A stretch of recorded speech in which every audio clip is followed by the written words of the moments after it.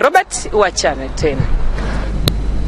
Nalo jeshi la polisi kanda maalum ya Dar es Salaam linawashikilia watu watatu wanaotuhumiwa kuwa vinara wa kutengeneza nyaraka mbalimbali za bandia za serikali, vyeti vya taasisi muhimu, pamoja na kuwa na mihuri mbalimbali ya bandia ikiwemo ya mamlaka ya mapato Tanzania, yani TRA. Watuhumiwa hao ambao wamekuwa wakisakwa na jeshi hilo kwa muda mrefu ni pamoja na Ashraf Maumba mkazi wa Buguruni, Mwamba Sefu na Mahmud Zuberi wote wakazi wa Buguruni kwa Mnyamani.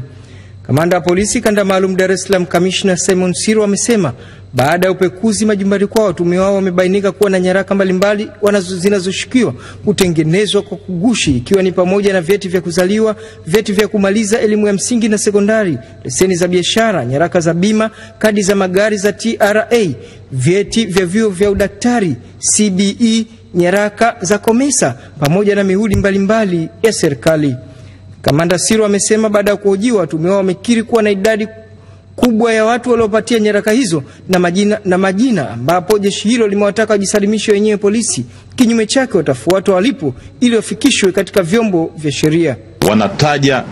na wameendelea kutaja watu ambao wamewauzia vyeti, wameingia kazi, wameshapata ajira kazi, kazi, kazi, kazi serikalini. Kwa hiyo niseme tu ndugu yangu, kama ulichukua hiki cheti, kama ulinunua hiki cheti ukafikiri ni baraka kwako, kwa kweli niseme sio baraka, itakuwa ni baraka kwako, kwa sababu watatutajia kila mmoja mmoja, tutawafata waliko, kama yuko polisi, kama uko ualimu, kama uko hazina, kama uko kwenye idara yote ya serikali, tutakufata. Mpiga chapa mkuu wa serikali amepongeza operesheni ya kukamata nyaraka hizo bandia, ambapo pia watu, watu wengi wamekuwa wakiuziwa nyaraka hizo na kusababisha serikali kukosa mapato, huku watu wachache wakinufaika isivyo halali. Leo serikali kupitia jeshi la polisi limefanikiwa kupata shina la wapi wanakotengeneza nyaraka bandia. Kwa muda mwingi tulikuwa tukifanya operation